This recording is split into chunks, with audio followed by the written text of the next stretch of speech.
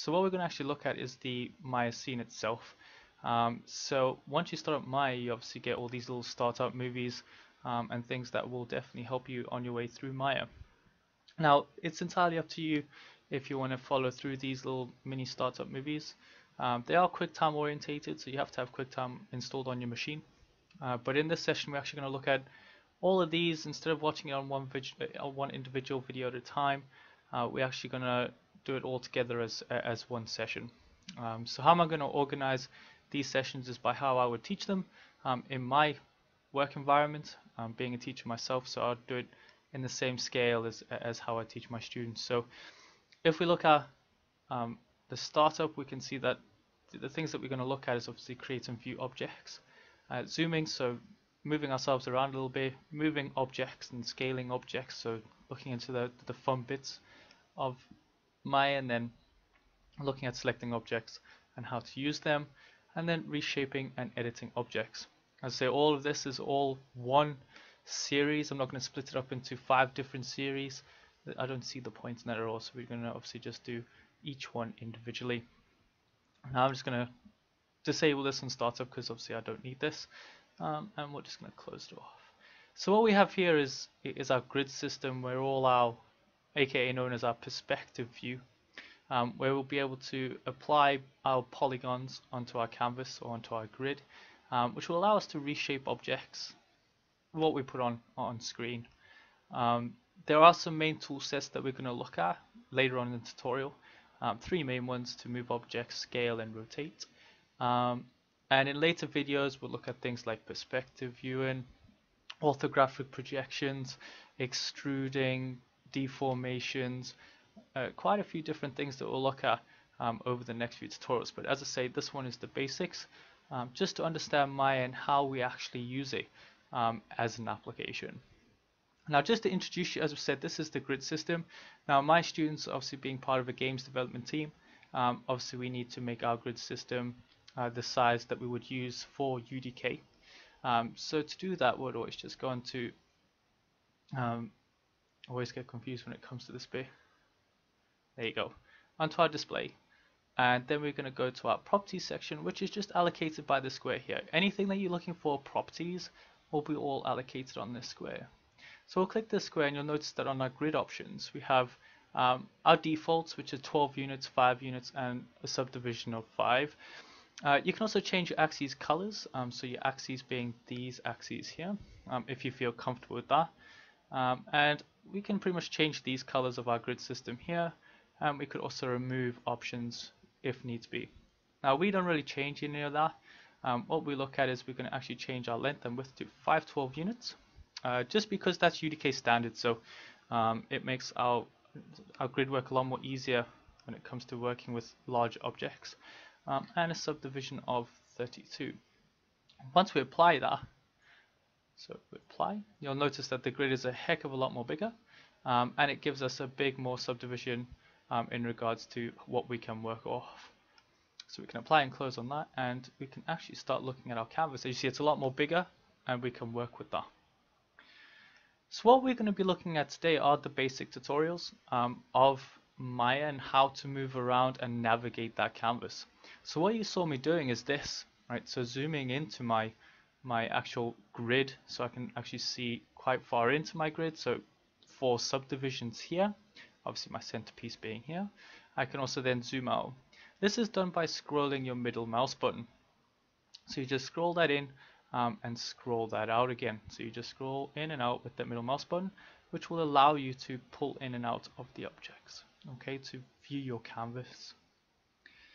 But what we first need to look at is how do we add objects onto our canvas, so onto our grid. Sorry, I keep calling this a canvas, I don't know why, but it's actually a grid. So we'll just um, add shapes onto here.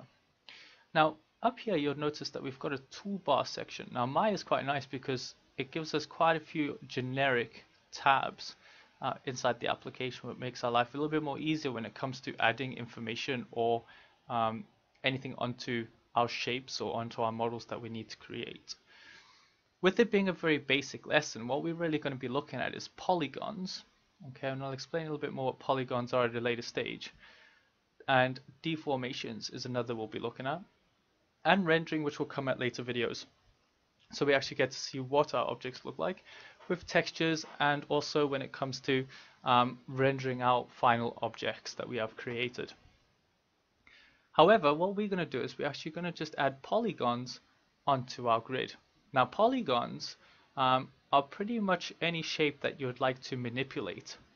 Uh, shape being, um, we've got our spheres, our cubes, our cylinders, uh, we then got cones, planes, toruses, pyramids, and pipes. Now, these are pretty much default shapes that you do have inside Maya, and everything that you do build in 3D modeling pretty much comes from these shapes. So really, there is only need for these shapes, and you'll be quite surprised over the next few tutorials what we can actually build with just these basic shapes. So to add these on, um, we can quite simply just click here. So I'm going to click the cube, so we're just going to left click that, and you'll notice it tells us to drag the base on the grid. So all we have to do then is just hold out left click, drag and pull. Notice it creates a simple cube. But then what we have to do is we have to drag this up to set the height. So then we just pull it up, which then creates our cube. Now, it's quite simplistic in the way that you can, if I press delete, I remove it. And again, if we click that cube, we hold left click, create our, our, our size pretty much, and then release my left click. Then I hold my left click again and pull that cube up. So that's pretty much allowing us to add polygons onto our surfaces. Now it's really important that you understand that we use polygons because it'll allow us to manipulate that shape. If I had to choose a surface, it's um, if I had to drag or put the surface on, you'll notice I could still modify this, um, but it is a little bit more complicated when it comes to working with, with, with the mesh um, and I'll explain what that means um, at a later stage. So we can actually get rid of this because there's no need. So you can add other shapes. We can add um, our spheres. Notice that we don't have to drag up or, or, or anything off that because the sphere is obviously just a pure round object. Again, um, what you can notice is all the contour lines um, and vertexes, which we'll talk about again um, in a few more seconds. So don't really panic about these big words that I'm throwing out at the moment. Um, then obviously we've got our little cylinders here. Again, this one again is like the cube that will pull out and then pull up for our height. Again, giving us our lines um, and our contours and our vertex, vertices and edges and faces and all that type of terminology. Um, again, which we'll look at later on. So it allows us to add these polygons directly onto my canvas. However, the tools that are past our pipeline here, so all these here um, are tools that we'll be looking at um, and that are very important to when it comes to working with polygons. Um, for example, this one here being the extrude button is going to be very important in our future lessons when we're going to learn how to extrude. So we've got this on our canvas, we've got the cube. The question is how do we look around the cube? Because we can see this section of the cube this section of the cube and this section of the cube. So how would I see behind that? Well, it all lies under the shortcut keys. Now the shortcut keys can get quite confusing. What I'll do is I'll actually add a link to um, a cheat sheet per se um, that has all the shortcut keys that are required um, to use Maya. So I'll, I'll leave that in the description for you. So to move around, really the only thing we're going to be using is the Alt key. So we're going to hold the Alt and with your mouse will allow us to navigate. So with the Alt key down, if I hold my left click and drag, notice it'll allow me to move my camera around all my axes. Now axes being my X, which is this line here, my Y, which is going up and down, okay, and my Z axis, which is at this angle. You'll say to me, well, how do you remember that, Wayne? How do you know that's actually that? If you look on your bottom left, which is just here, okay, you'll notice it tells you your angles. So what you're actually looking at. If I rotate my canvas, you'll see that that changes, okay. That will rotate with you wherever you move, okay, so that will change with it. So you will always know which which axes you're working off. Now if you're coming into Maya, you should really know how to use 3D planes and what that actually means mathematically and how we would move things around. For a complete noob, Basically, X, Y's, and Z's is just to move objects on an axis, and how would create a 3D object by looking at three different perspectives, i.e. three different angles. What else we can do is if I hold Alt and scroll, you'll notice it does exactly the same thing as my zoom, so there is no need for that. However, some people say it's a lot more smooth if I hold Alt and scroll. I don't really see the difference. Um, it's just something I don't, I don't see. However, if I hold Alt and hold the middle mouse button down, so my middle mouse button, and if I move, notice it's just moving my canvas. I am not rotating my canvas as if I was holding Alt and that. Basically, if I'm holding Alt and hold my middle mouse, it moves my canvas around, which makes things a lot more easy, especially if I've got very tall images. I could quite simply just hold Alt, middle mouse button, and pull up so I can see quite far up on my image or on my model. So very, very important. If I hold my Alt and then use my right click, so hold my right click down, you'll notice this is a nice panning compared to your, your zoom. All right, zoom is quite jumpy, whereas if I hold my Alt and my right click down, it's quite nice to pull out. Right, so I'll be able to pull out um, and pan, as they say. Very simplistic, very easy to use. Again, works quite nicely if I hold my middle mouse button down with the Alt, so I can pan up and then if I hold my right key I can zoom in alright makes things a lot more easier. Then if I hold my left click I can rotate that image. Well, if you can master those keys so just those very simplistic holding the alt and navigate around the canvas it makes everything a lot more easier. Especially when it comes to doing high-end modeling um, or just just the basic the necessity to navigate is key especially when we have quite a few vertices and how do we you know how, how how do we access them um, so it's very important um, to learn how to navigate correctly. It takes a bit of practice, but once you understand it, it's a lot more easier. The next part is, well, how do we start selecting parts of our object? So how do we select it? For example, how would I select this face and do something with it? How would I select this edge and do something with it? Well, how would I select this vertex and do something with that? Now a face is the front end of four sides. Now it doesn't have to be four sides, it could be a face of a circle, it could be the face of a triangle. Basically it's just the point between all intersectors. Okay, so all these lines here will then give you your face. So this is a face here, this bit's a face, this bit's a face. Okay, if I rotate, this is a face, again rotate, this is a face, and underneath is a face. Okay, so you've got quite a few faces when it just comes to a cube. You've got six in total. One, two, three, four, five, and six. Just on a cube. So let's say I want to select one of those faces. I want to do something with it, whether it be make it bigger, smaller, or anything like that. What I'd like to do is, or what you have to do, sorry, is you have to hold your right click on the object. What's nice about Maya is that it's it's adapted this very fast click idea where you'd be able to just jump to something that's required straight away by just holding your right click. So as said before, what we want to look at is we want to actually select the face. So by looking at this little smart area here, we'll notice that there's something called a face.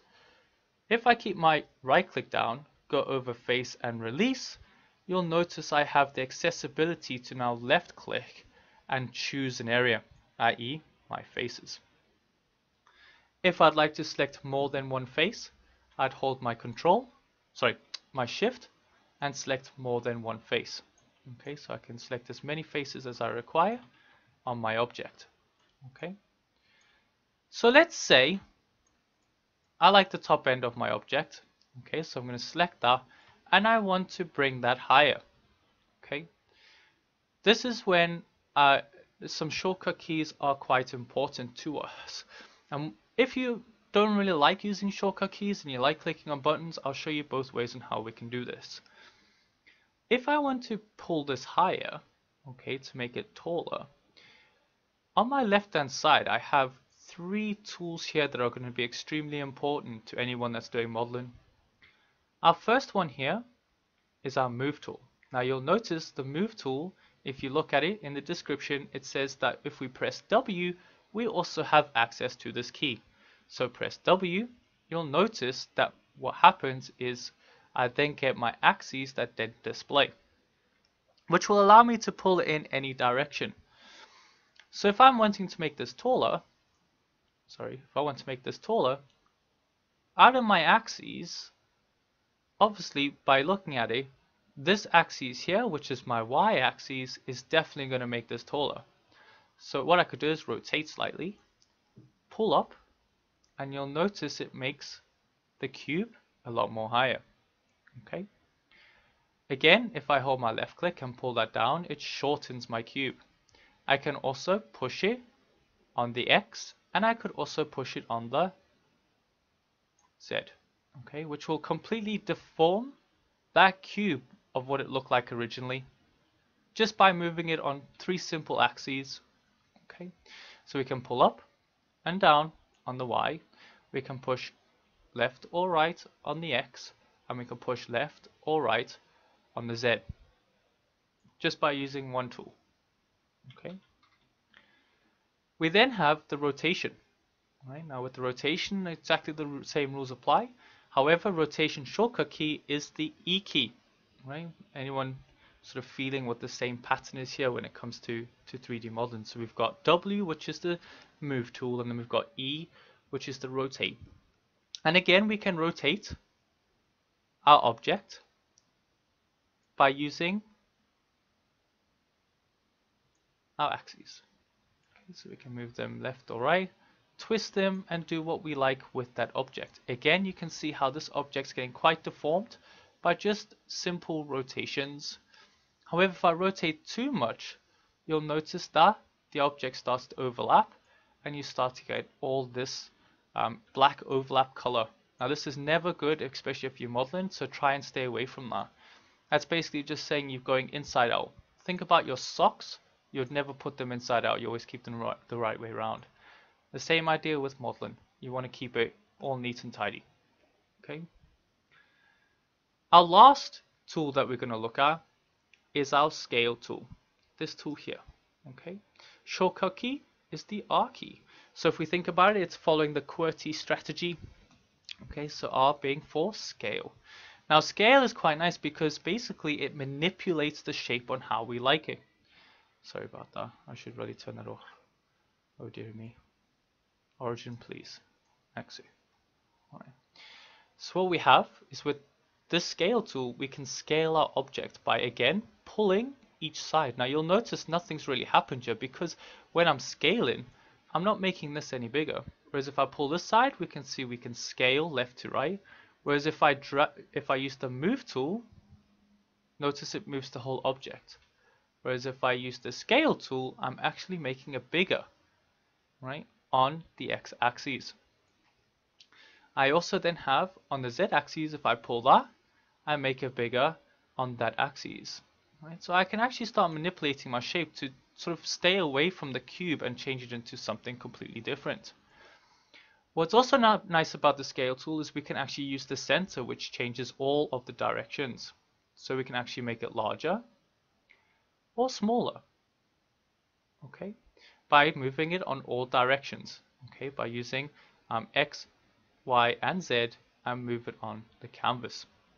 So we can change it to whatever we like and manipulate it to how we like. Again, cheat sheet will be available for you in the description. Um, so please check that out. Um, it'll give you more of an idea of what each one of these mean. Um, and it gives you a bit of theory behind them um, and what they're there for. Okay.